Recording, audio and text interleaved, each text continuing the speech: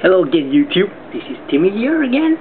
I'm so boring. I, I did the cube review video, but now today I'll show you the Nike Mercurial review.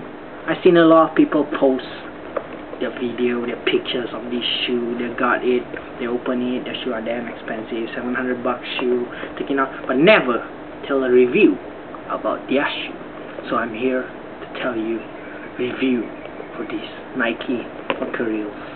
First of all, they are damn beautiful and light.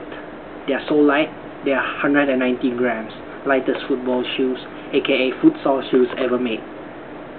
And it's made by Teijin leather, it's some Japanese leather, which I don't really know about. It's made in China. It's original. It's 180 ringgit.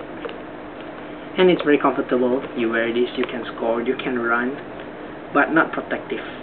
You wear this, somebody steps on your leg, I can assure that your foot will be broken. Right, that's all about this shoe, I think. Yeah, seriously, it's really, really nice. Ronaldo wears these. Uh, Robbie Keane wears this. Nani wears this. Ekman Lahore wears this. Who else? Pato wears these. That's about it. And this is shoe and Drogba wears these too.